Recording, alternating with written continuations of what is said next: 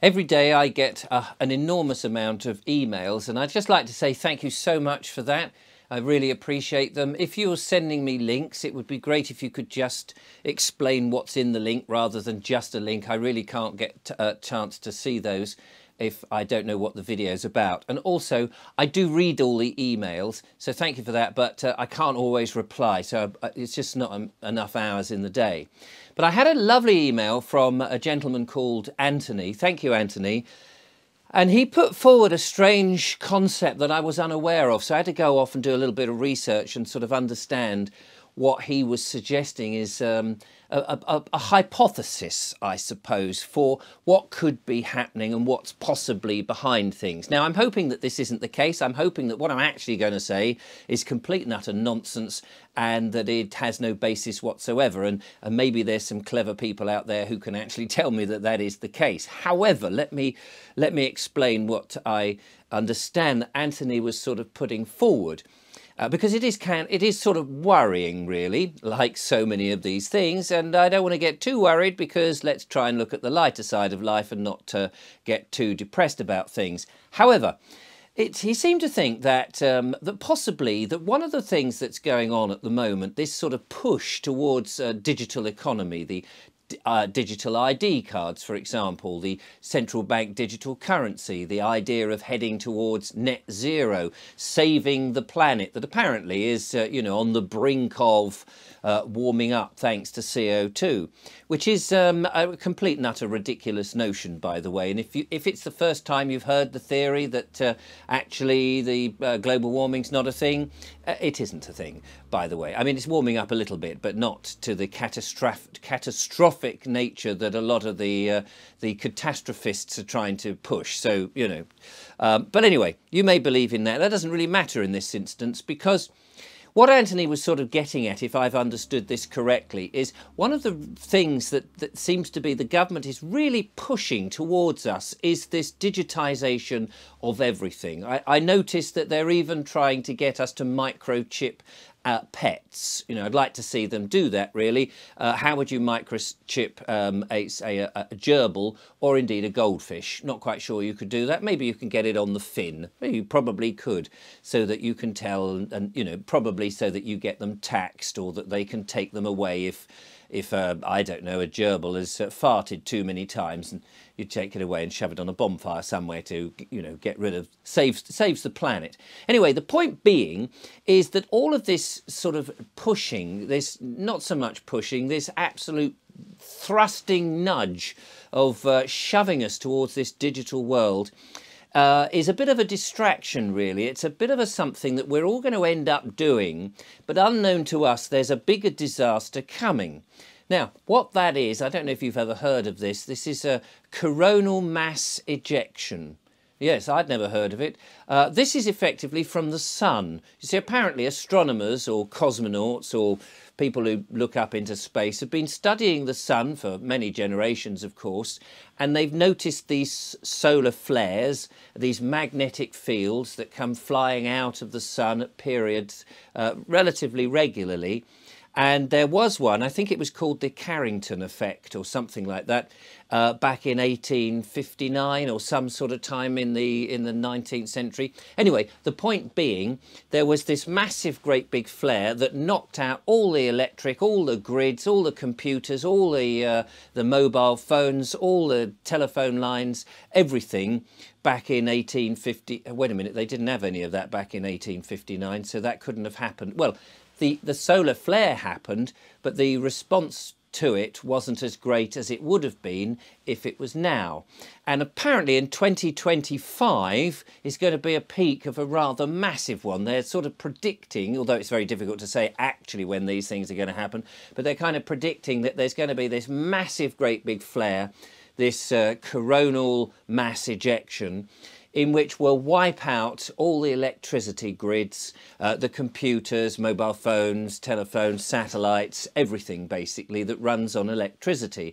Uh, I don't quite know how it works. It's sort of like blows them up, and any of the uh, transistors and compressors and I don't know, you know, capacit capacitors. That's another thing. The old valve radios will blow up. Not that we have those anymore, but you know what I mean. All the electronics and circuit boards are all going to fry with this massive radiation. Now, I don't know if this is true. But this is what uh, Anthony was saying, and I thought, well, if that was the case, if this this mass uh, coronal mass ejection, this magnetic field came and enveloped the Earth and blew everything up, knocked the satellites amiss, the consequences of that, of course, would be uh, uh catastrophic. It would be genuinely catastrophic because everything is running on electricity. Uh, you know, there'd be no running water, there'd be no uh, lights, there'd be no heating, uh, there'd be no deliveries, there'd be no supermarkets, there'd be no food production. Uh, the whole world would go into absolute chaos and we'd all be fighting one another to try and live. Now, he said that this, this mass, uh, coronal mass ejection wouldn't just be like one spike and it's over, that it could last for weeks, which would mean that no matter how hard you tried to fix the problem, everything would blow up immediately again and you'd get um, into serious problems. So you couldn't just sort of go, oh, I've got another circuit board, shove that in, because that would blow up immediately. So you would basically be, if this is true, uh, without power for possibly weeks or months or even a year. I mean, I don't know how long this sort of lasts, which means that we would be in a very difficult situation. And that and of course hospitals wouldn't function the banks wouldn't function the uh, government could barely function. We wouldn't really be able to talk to each other. And worst of all of course I wouldn't be able to make my videos which would be very upsetting for me as you could probably understand. What would we do if we didn't have YouTube and other video platforms to entertain us and things like that? So if this is a thing, and I'd love to know if this is a possible, likely, or um, one of those things that is, uh, you know, if, basically, if anybody knows anything about this, please, please let me know, because I can reassure people that it's all a load of nonsense if it is. But reading about it, it does say that these magnetic uh, force fields can come in, they can knock these things out. And if there is one beyond all of our control, what would we do? And my thought was, well, even if this isn't a thing, is it really sensible for us to put all our eggs in one basket? Is it sensible, for example, to push everything into a digital format, into this, uh, you know, with digital uh, banks, uh, these, these uh, what do you call them, central bank digital currency, the uh, digital ID cards, everything relying on electricity for our transport, for our heating, for our cooking, for our deliveries, for our food production, for the making water run. Maybe we should be thinking that actually what we do need is some form of backup, some analog system that we have got because even if it isn't this coronal mass ejection from the sun that's coming, we know that there are, you know, crooks and bad guys in the world who may sort of corrupt things and with fraud uh, or knock out computers. You know, terrorist acts could happen in which take out whole computers and banking systems and things that we would again perhaps not as prolonged but certainly it would be so disruptive that if we put everything into one system, into a digital system, as, as useful and convenient and helpful and wonderful as it all seems, it seems to me to be extremely stupid to have this Achilles heel that makes it so vulnerable. And that in the old days of having photographs, for example, printed onto paper in albums, books written and, and printed in physical books so that you can open them up, um, banks in which you have real notes that you can actually exchange with one another and if necessary keep in a shoebox underneath your bed um, all these old-fashioned systems, record players. Okay, the record player you could have as a wind-up one. There was um, somebody invented a wind-up radio. You know, if you're just reliant on electricity and digitization of ones and zeros all the time, it strikes me as this is a very silly and uh, dangerous thing to do because even as I say, even if it isn't a solar flare from the sun that can do that, it would be possible that uh, nefarious people, as we've spoken about many times, could decide to control what you do and what you have. And as a free uh, people, as sovereign people who want to remain free, to be able to go where they want, if all the time you are being monitored or you're having your bank uh, decide whether you can buy things or not things, or with a, an electronic system, everything can be manipulated like a smart meter in your house, but from somewhere else by somebody else. Seems to me that that is a very ill-advised way to live.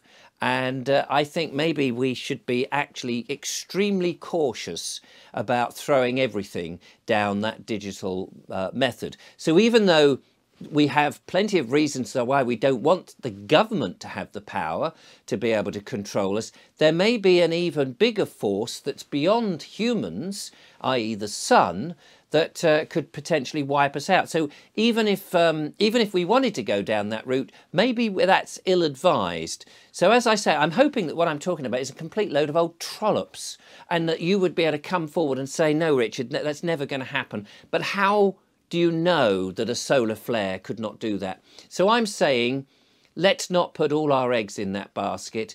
Maybe we should have, a, um, you know, have candles around in the house, have other ways of doing things. Don't rely on the digital stuff. You see, the one that we've been told over the last few months, you know, there might be some electric um, power cuts and things like that. Have you heard those sort of things? Uh, oh, that, you know, expect power cuts or the power is going to drain, there's not enough power. And the reason I think that we haven't had it and the reason I think we won't have it is because if the government allow power cuts to happen now, it will show just how um, dependent we are on electricity and how dependent that we are on the internet and how dependent we are on these systems that run on electricity and that we'll suddenly wake up and go actually pound notes cash is far far more superior when the power goes down that uh, things like a, a, an actual printed book physical things are going to be much worth so much more if the power goes down than relying everything in some sort of ether, some cloud-based system, some computer-based system. Our mobile phones won't work, you know. So I think that we won't be having electric power cuts because it will just demonstrate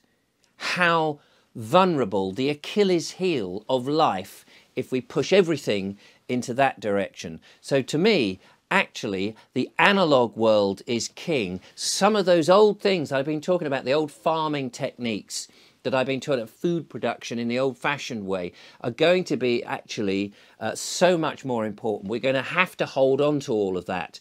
And that is why we should resist the digital purge that is being forced upon us. Let me know your thoughts in the comments or indeed on an email, but not too many, please. I get so many. And uh, let's discuss this. Is the analog way still worth holding on to with all our fingers and not disappear down the digital route?